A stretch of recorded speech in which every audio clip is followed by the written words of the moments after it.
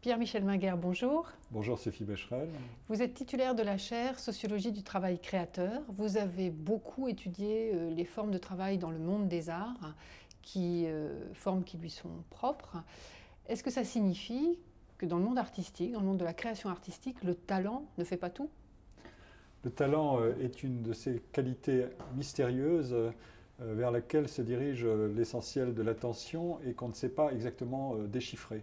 Donc il faut analyser ce qu'est cette grandeur mystérieuse du talent dans le monde des arts, mais aussi dans sa diffusion à l'extérieur. Aujourd'hui, euh, le monde des entreprises est saturé de discours sur le talent. Vous ne savez pas au départ qui exactement va sortir du chapeau.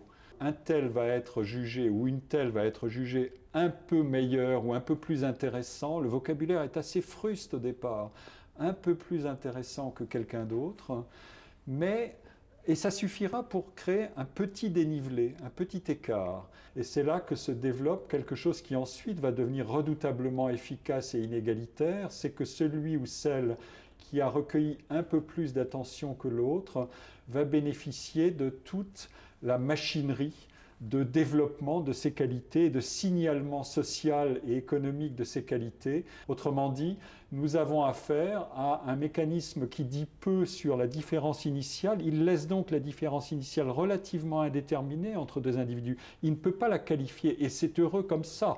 Sinon, on aurait réduit l'incertitude sur le système et on, saurait, on saurait d'avance qui va réussir. Or, ça n'est pas ce qui se passe.